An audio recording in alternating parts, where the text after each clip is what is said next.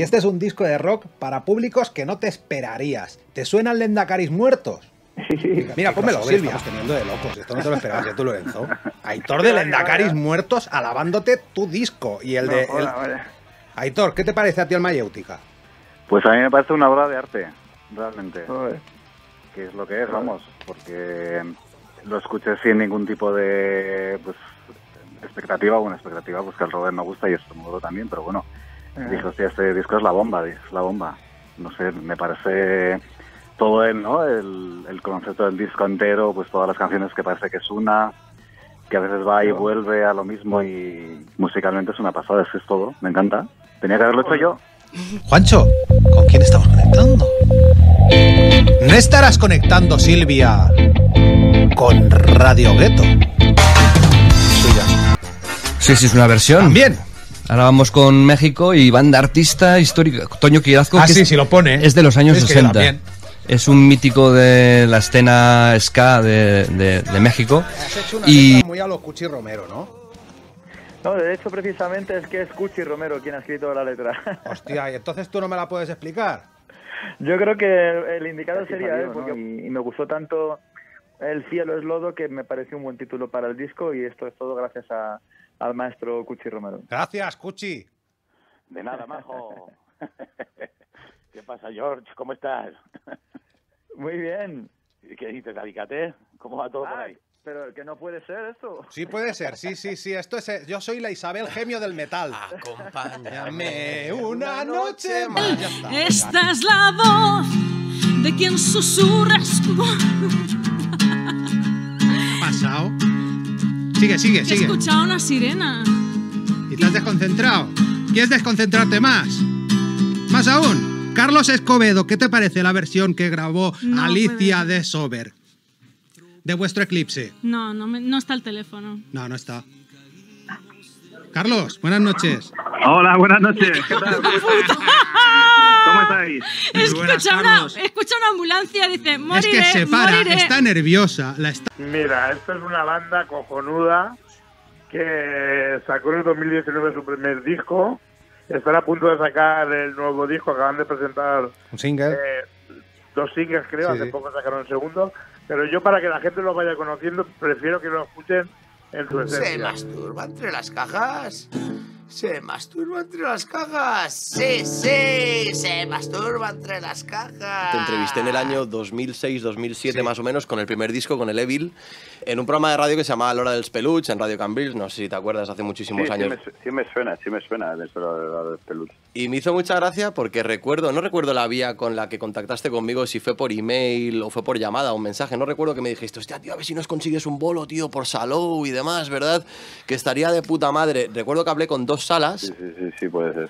con dos salas de Salou de conciertos, en una cerraban en, en fuera de temporada y no, no, podían, no podían organizar el concierto, y en la otra me dijeron, este grupo nunca va a llegar a nada. Nunca. O sea, fíjate tú que le podríamos decir eh, William, ¿cómo se dice zurdo en inglés? De Lefter. Eh, le- lefty. le- Lefty, pues eso, William Lefty le podríamos decir de lo internacional que es, porque es que este tío ha tocado tras metal por todo el mundo. Claro. Los visionarios, también los de Salou, ¿eh? No, O sea, no era- pero, pero Ah, Viure's una ganga, sobretot al primer món, quan és tema de debat al pentinat de Puigdemont. Què cony? Posa'm una copa de rom barat, sóc un rodamont encantat. Pots afirmar que em coneixes però no em conec ni jo.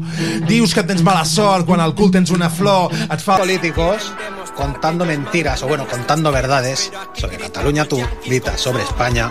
Y Tony Mejías, al otro lado del teléfono, Hola, muy buenas. ¿Qué tal? sobre Europa. Sorpresa, sorpresa. Soy la, Emi- la, la Isabel Gemio del metal, del rock, del rap, de todo. ¿Cómo estás, Tony? La pregunta incómoda. Como decía Mercedes Milá en su programa, queremos saber. ¿Qué ha pasado con la polla y qué ha pasado con Gatillazo? Porque Baristo lo he visto yo en su web oficial que está más enfadado que un Problemas indiacao. que si tiene problemas con los tendrá con la casa discográfica o con el antiguo manager lo que sea pero con nosotros ya te digo que no porque nosotros a ver, somos de currerlas y, y sin más nosotros eh, paramos o sea paró el, el tema de gatillazo para hacer lo de la polla y sin más y lo Eh, no, no, no, no, no pasa nada. Simplemente pues cada uno ha seguido su camino a su manera, sí. Y ya está, ¿no? No ocurre nada, no. De gatillazo todo lo único que tengo que decir es que iba, yo iba andando con gatillazo y de repente sufrió combustión espontánea. Fue Se tan rápido que no sé si se quemó de arriba abajo, de abajo arriba o de lado a lado. No me acuerdo bien. ¿Pero quién, la quemó? quién lo quemó eso? O sea, ¿los Desapareció. o desapareció y ya está? Sí, desapareció sin más. Bueno.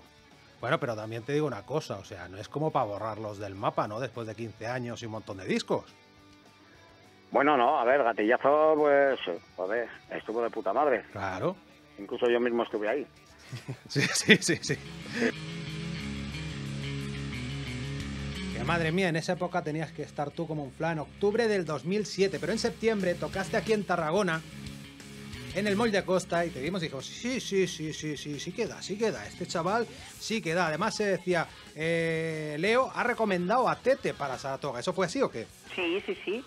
Yo de hecho, es que teníamos contrato discográfico con mi eh, primera banda, con Saigón, y precisamente Leo iba a ser nuestro productor. Eh, nos, nos fichó a Avispa, Leo iba a ser el productor de mi disco, eh, pero justo pues pues un poquito más adelante ya me comentó Leo que él se piraba, que dejaba la banda y vamos, yo te, yo iba a seguir con mi banda, pero Leo sin decirme nada, el cabrón me, me recomendó y... ¿Te la pones?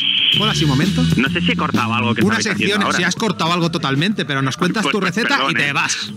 Vale, vale. Isma, ¿qué, qué cenamos hoy? Pues hoy voy a hacer una cosa rapidita, ya que estamos aquí de camping. Pues, y aprovechando que es temporada de higos, una ensalada de higos con jamón serrano. Eh, muy fácil, cortas la lechuga pequeñita, le puedes añadir cebolla. Bilbao.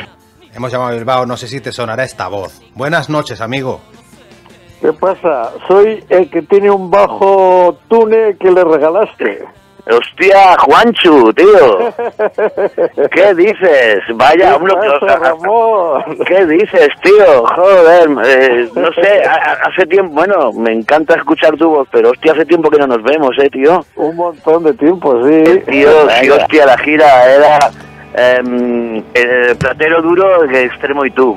Sí, sí, sí. Extremo y tú y platero duro, sí. Platero duro y extremo y tú. eh, Hicimos unas cuantas púas, bueno, unas bastantes púas. Y luego Sí. lo, lo curioso, lo guapo era el póster, porque era lo que dices tú, en plan circense y sí. Uno era el payaso, el otro era vamos, el hombre fantástico de goma, o ese, sí, el de la bola, el de los pesos y tal. La verdad que estaba cachondo. Sí, sí, bueno, lo ¿No te está acuerdas? En la fusión esta de platero y extremo habían rollos que yo tenía que tocar al principio, no sé, tocaba Juliet, me acuerdo yo, Sí, ahora me ha venido. y luego ya te quedabas tú y, y sí, con los cambios estos que hacíamos, que estaba muy bien. Sí, sí. Estás luchando contra este mundo mugriento en el que o mueres de hambre o mueres de aburrimiento. Nos quieren callas y quietas, dóciles, domesticadas. Con nosotras no podrán, su tumba ya está acabada. No soy como toda gente a la que manejan sus vidas. Yo sola llevo mi rienda sonriente y combativa. Me salgo de vuestros moldes que me aprietan y me asfixian. Os estallo en toda la cara mientras me parto de risa y me parto la camisa. Ay, madre mía, cuando llega a casa que el sábado por la mañana. ¡Ramiro! ¿Qué pasa, amigo? Ay, madre Me mía. Pues, Me ¿ves? cago en es- la leche, puta. Es que esta sorpresa te tenía que llegar, Juancho. Ramiro, tienes al otro lado del teléfono a Juancho Lano, el bajista de Platero y tú. Me cago en sos.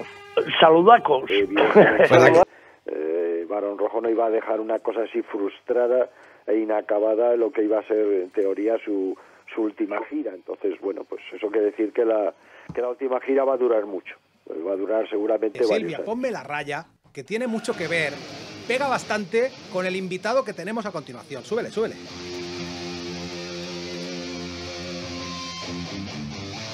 Fíjate tú, Fortu, el crossover que vamos a hacer ahora en Mi Rollo es el Rock. Yo no sé... Bueno, Manolo, tú cuando eh, Obús sacaron este disco, el que más creo que estarías en la mili. Pues más o menos. Ojo al Más crossover, ¿eh? Fortu con... Manolo, Manolo, ¿quién es Manolo? Buenas, Fortu, ¿cómo estamos? ¿Qué pasa, tronco? ¿Cómo? Manolo, ¿quién eres, tío? Manolo, eres Manolo, ya lo sé. Manolo Cabezabolo. Ah, Manolo, coño. Joder, cabeza bolo. Empieza por ahí, joder. Que empiece por el apellido. Manolo, tú eres un cantautor con K, ¿vale? Y ahora vamos a tener un cantautor con C. Silvia, ponme a Joan Manuel Serrat.